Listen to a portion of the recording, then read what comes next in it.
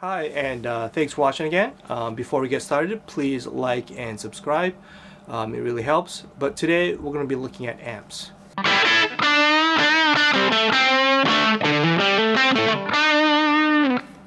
And specifically this guy.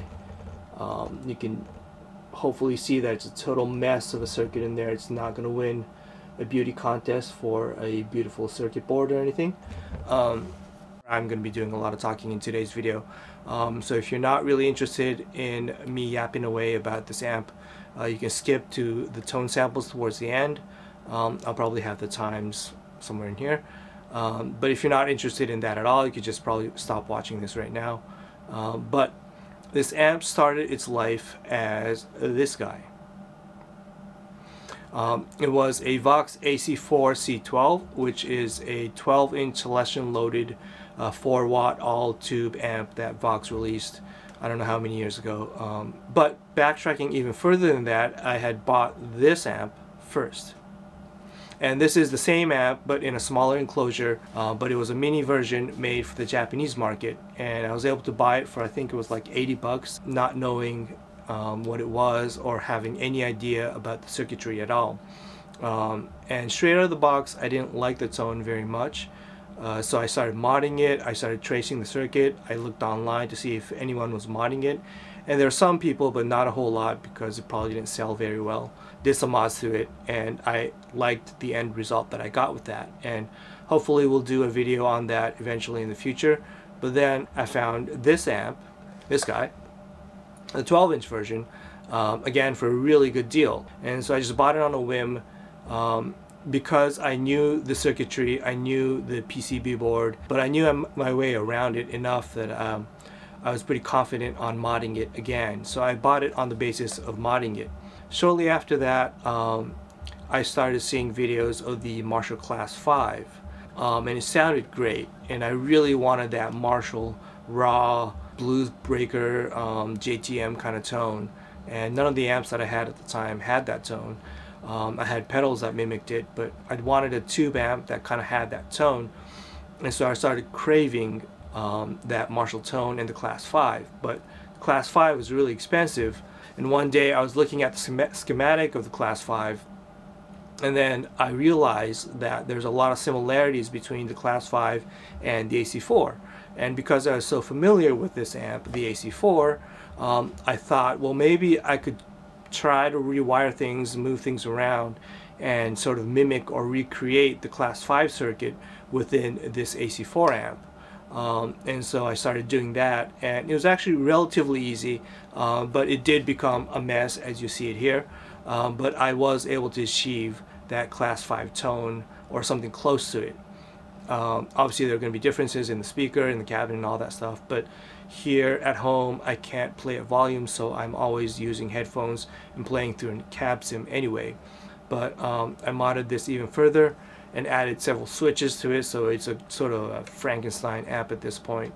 So we're just going to look at this amp today. Um, I'm not really going to go into the details of how to mod it because uh, I don't really recommend it. I'm just going to go through the different tones. Hope you enjoy it uh, it's not going to be an informative video or a shootout like I've posted in the past, but um, I hope you enjoy the tones of this amp. And so let's get started. Okay, so we're back and taking a look at the schematic. And um, the first thing I want to mention is that these two amps share a very similar uh, topology and that when I saw that that's what made me think that I could probably mod my AC4 into class 5 and that is to have the EL84 single-ended class A output stage with two 12AX7s so four total I guess in a way um, because they're dual triodes but uh, two 12AX7s and so when I saw that it had the same topology, I figured, well, maybe um, this could be a possibility of modding it. And then the next thing that was really big is that both of them share um, what's called a cathode follower tone stack. And so Marshall amps um, in general actually have this, and also Vox amps have it too. So that's why they both companies kept it in their smaller versions. But so this has a cathode follower going into a tone stack, and then this has a cathode follower going into a tone stack. and obviously the pots are a little bit different, the resistor values are different, capacitor values are different, but to have that same um, layout, I figured, well, um, the only big difference is that the AC4 has one half of a 12AX7 before that cathode follower, where the class 5 goes from the first gain stage straight into the cathode follower. Well, I figured, well, maybe why I can just swap these around. Um, and so put this behind the tone stack and have the first gain stage go into the 12AX7. And so um, if I just rewire some stuff, cut some traces, and move some wires around, I would probably be able to um, get a similar layout as the class 5. And so that was um, the basis of me realizing that maybe this isn't going to be that difficult of a task. It actually was quite difficult, but not not that crazy difficult. And so um, basically, I just went ahead and traced, cut some traces, and rewired all that stuff. Um, and so you get a class 5 mimicked AC4. And one thing you'll notice is that I haven't um, drawn out the power supplies. And that's because um, I didn't touch the power supply at all um, when modding the AC4 and so whatever power supply that was in the AC4 the rectifier and all that stuff is still the same. And so that's going to be a big difference between um, my sort of modded class 5 and a real class 5 because it's going to have a different power supply. I'm sure the Marshall has um, a more robust power supply being more expensive and all that. Um, so I just stuck with the basic circuitry of the amp itself. Okay, and so let's move on to the mods that I did um, further beyond the stock uh, class 5 schematic.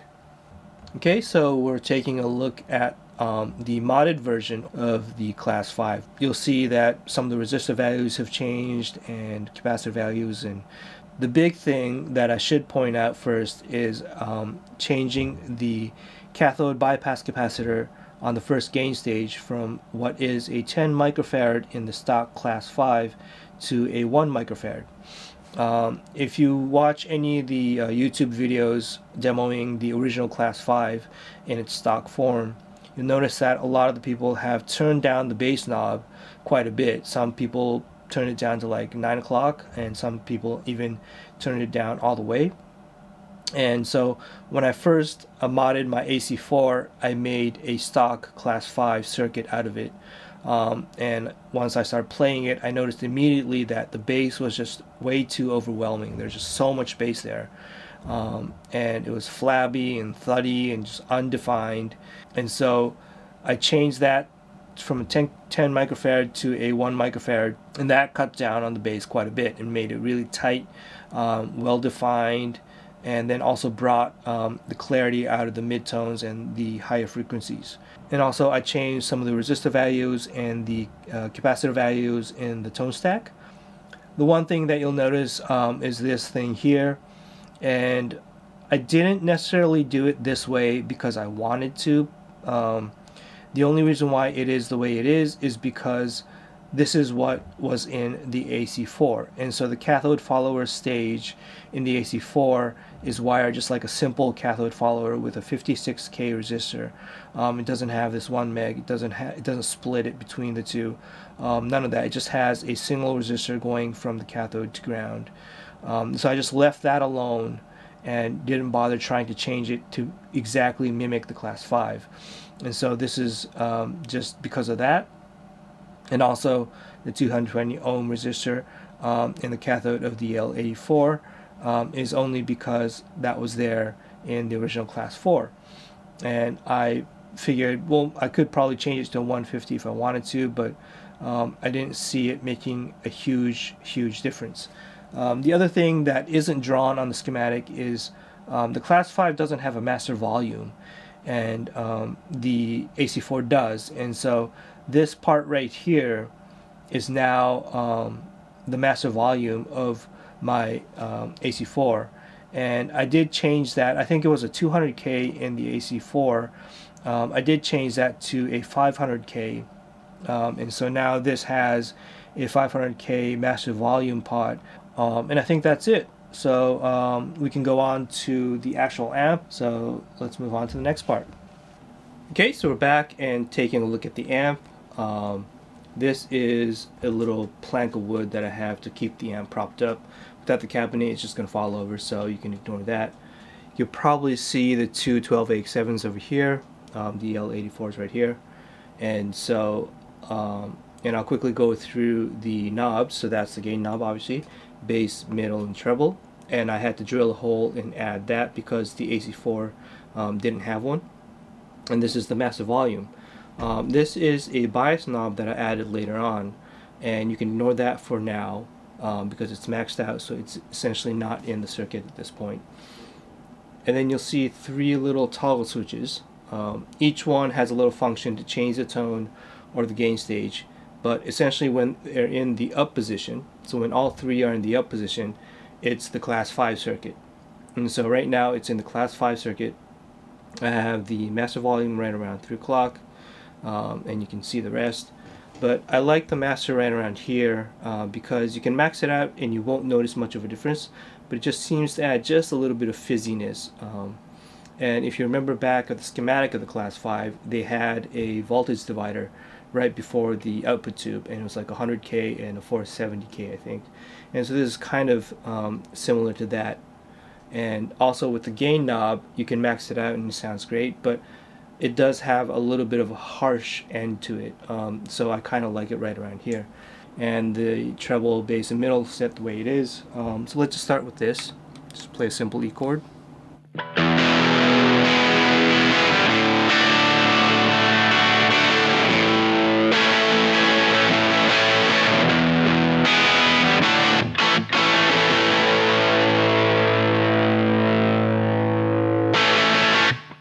Okay, so you get the idea. It's a great sounding. Um, to my ears, it sounds a lot like what um, I expect a Class 5 to be. Um, it was kind of the tone that I was chasing when I first built this clone or this, this modded clone. Um, and has that great fat Marshall sound.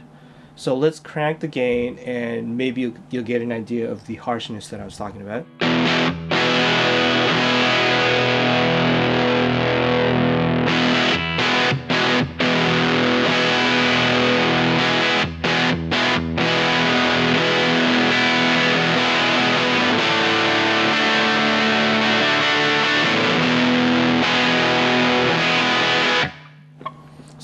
It just seems to get too harsh um, and the notes are less defined.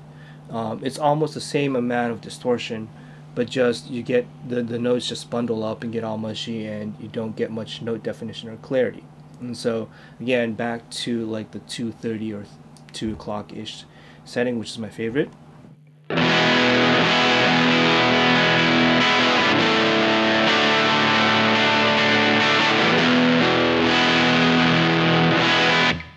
Okay, um, and I guess we should quickly go through the gain knob just to see what kind of um, gain range we can get.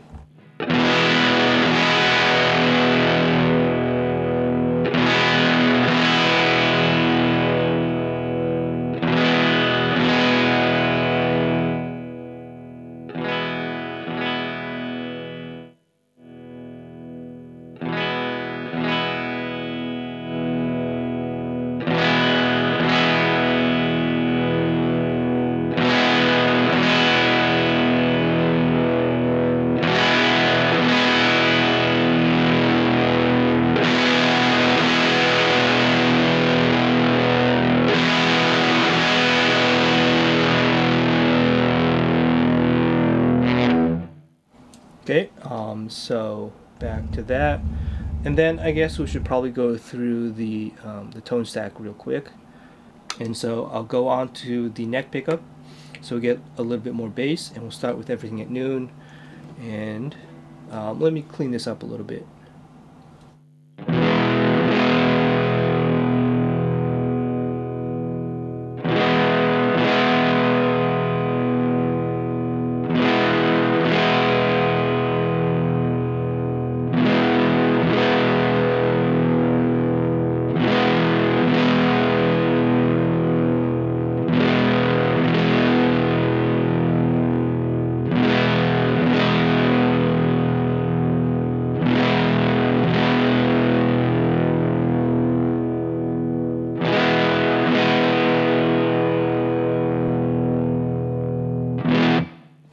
So you definitely do notice a difference in the bass. Um, it gets really thuddy and flabby uh, at maximum. And let's move on to the middle.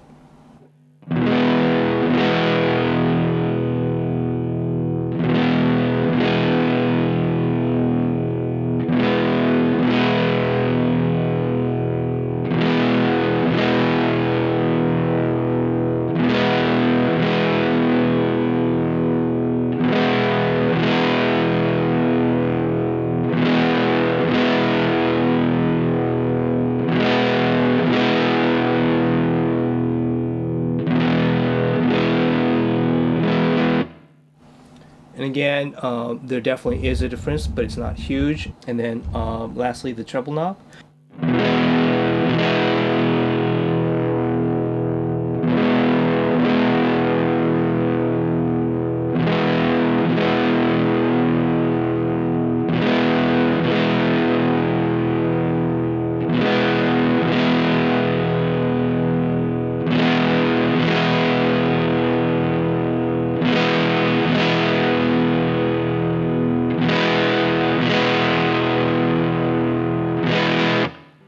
Now the next thing I want to try is to um, see how clean you can get this amp.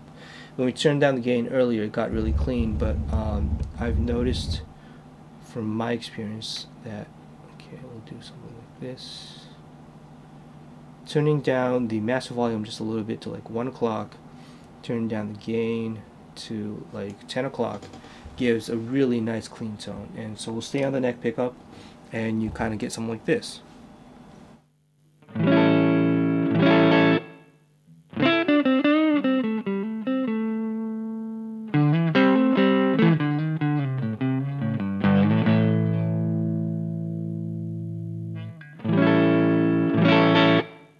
Okay, so that's like a really nice clean tone.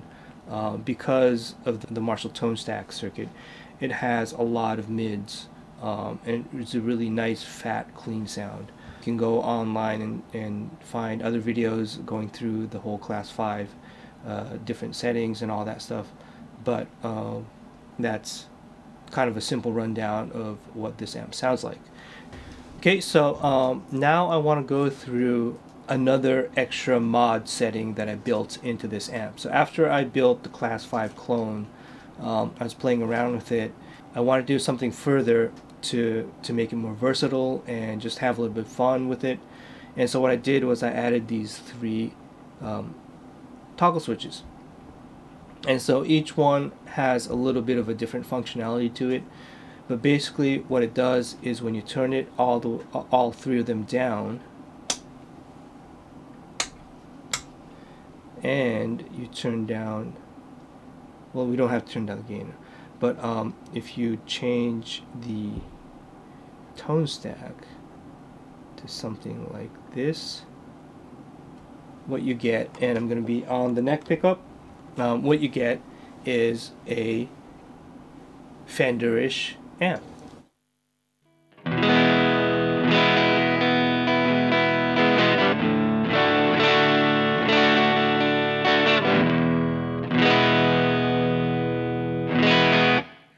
Okay, so it's obviously not going to be um, exactly like a Fender amp because there's so many things that are different about this. Um, the resistor values, the the pot values for the tone stack, um, the gain structure, um, the cathode follower right before the tone stack, and all that stuff is going to be different. So, but what I did was with um, these two switches, I changed the tone stack and some of the resistor values in um, different parts of the circuit to create more of a mid-scooped uh, frequency response. Because the Marshall is a very mid-pushed frequency response. And so to create that Fender sound you want to create a mid scoop and so that's what I did with these two switches. This switch um, actually bypasses uh, the third preamp section um, one half of a 12AX7 and so you get lower gain. Um, so basically um, I'm just going to jump back real quick to this and so basically with that last switch, what you're doing is you're taking the output from the tone stack and sort of jumping over this one half of a 12AX7 and going over here. And there's some stuff in between um, just grid resistors and capacitors and all that stuff. But in essence, you're just jumping one extra gain stage to clean up the signal a little bit. And so let's go um, and clean this up and you'll see what I mean.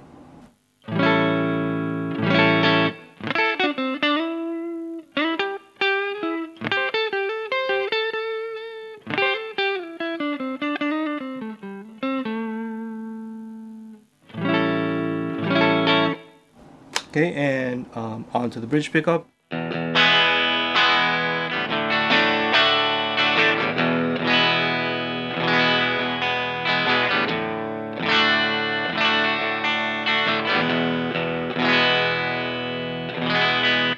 Okay, so you kind of get an idea of what I was talking about. It, it it's not really a Fender amp tone, but it, it comes close to it. And um, let's let's see. Let's go through the gain real quick.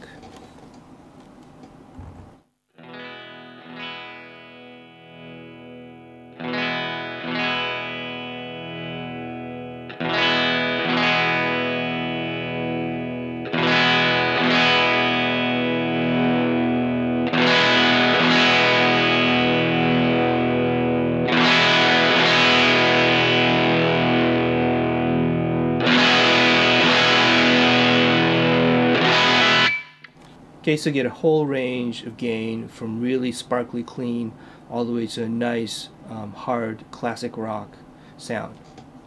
And uh, raise the master a little bit. And so this is kind of my favorite as far as a gain sound goes.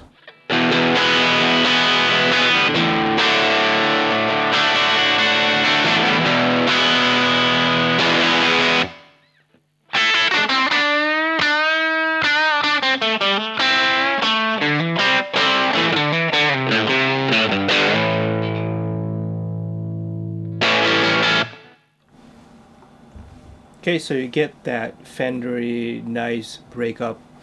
And because you're eliminating one um, gain stage it's it's I don't know how to say it best but um, it's like a clean uh, breakup.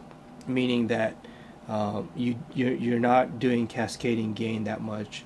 And so it's like a nice straightforward breakup tone um, okay so uh, I guess just very quickly um, because there really isn't a point in comparing the two different um, settings or stages.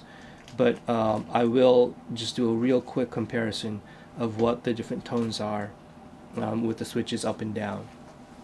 And so let's go into the bridge pickup and we'll gain up this. We'll keep that around there. Um, and so I'm not going to touch the gain knob or the master volume. Um, I'm just going to change the switches and then change the tone stack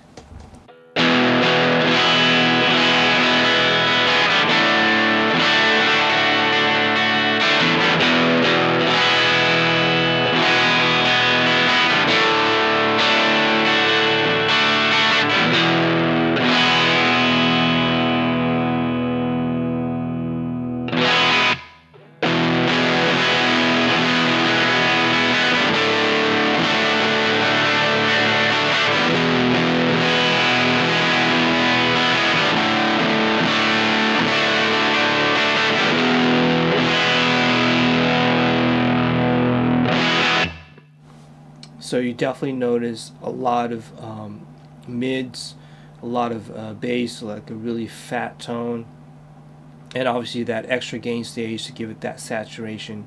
And so the bridge pickup on this Telecaster almost sounds like a humbucker or a P90 with this class 5-ish amp.